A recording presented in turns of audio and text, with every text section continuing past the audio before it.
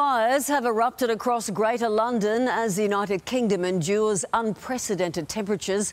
Britain is now bearing the brunt of a dangerous heat wave that has Europe in its grip, recording its highest ever temperature of 40.3 degrees.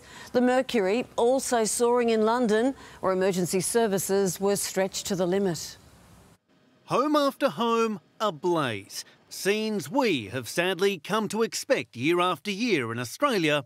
But this is England, where it's no ordinary British summer.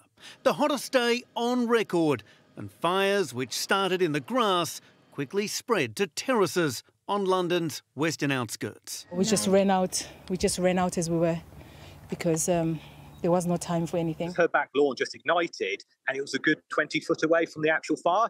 It just spontaneously combusted and it was just unbelievable how fast it was spreading.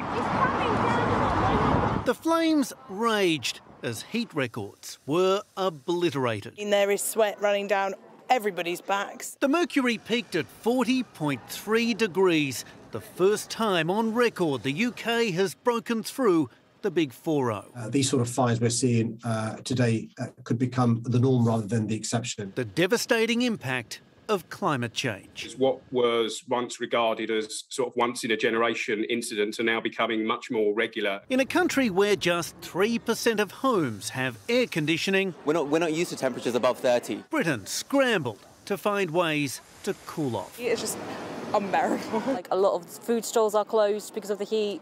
Obviously, the changing of the guards isn't happening because of the heat. Buckingham Palace gave its ceremonial guards in their bearskin hats a few hours off after a policeman was pictured dispensing some liquid mercy.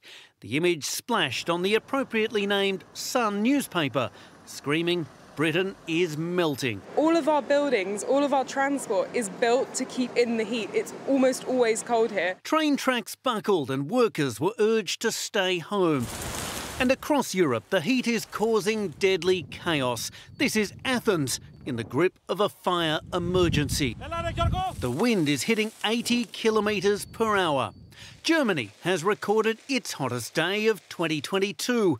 In France, dozens of areas have hit all time high temperatures. Parisians seeking shelter from the sun